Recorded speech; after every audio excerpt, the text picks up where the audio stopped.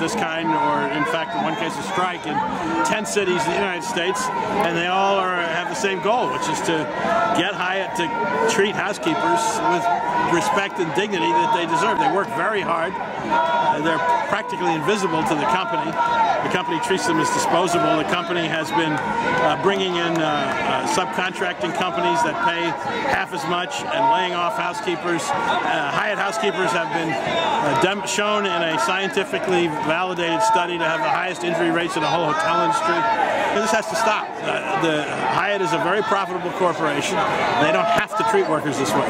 Boycott because you don't listen, you don't escucha. Uh, two years, no contract, that's right. You always give you more job and less money. No, no, no. Is that what they're doing? Yeah. Like, like more work and like he does hard work and get little money. What do you do here at the hotel, sir? Housekeeping. How long you worked here? 32 years old. 32 years. Yeah, 32 years. They haven't had the right tools to do their jobs, been getting ergonomic injuries and then basically being treated as machines and fired once they're no longer useful. ¿Trabajas aquí? No, trabajo como manage. Entonces, ¿por qué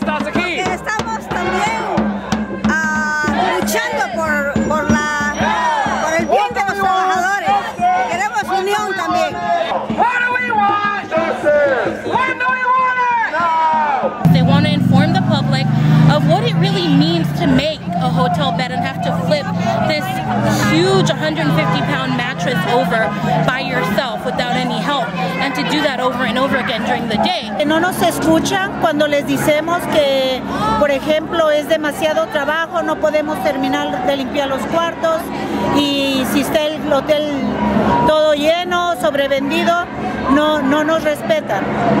Ellos no quieren saber de eso, solo quieren cuartos limpios.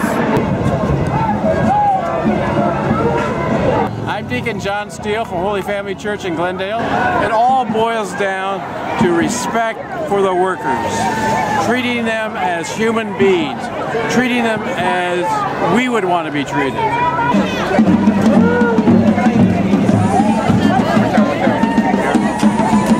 The world of housekeeping is a largely hidden world. And the hotel industry and atmosphere of luxury and comfort is created by a usually invisible army of workers, and people of color, who face many dangers on the job. Marta Pacheco, a Hyatt Century Plaza housekeeper for 17 years, rushes to get the work done. Surgeries for carpal tunnel have twice made Marta unable to work. The co-workers, like Linda Lopez, keep at the grueling work. Sheets, the constant bending and lifting takes a toll and can cause many housekeepers to hurt their lower backs and arms.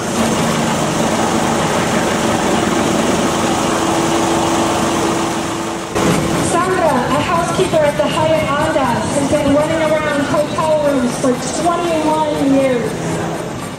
Housekeepers move so quickly to get their work done, they often miss if an extra towel or sheet has fallen on the floor. Housekeepers can seriously hurt themselves, at times requiring major surgery from tripping on linens or other hotel amenities strewn around hotel rooms. The right to work in a safe and secure environment free from harassment or assault has become an increasing concern.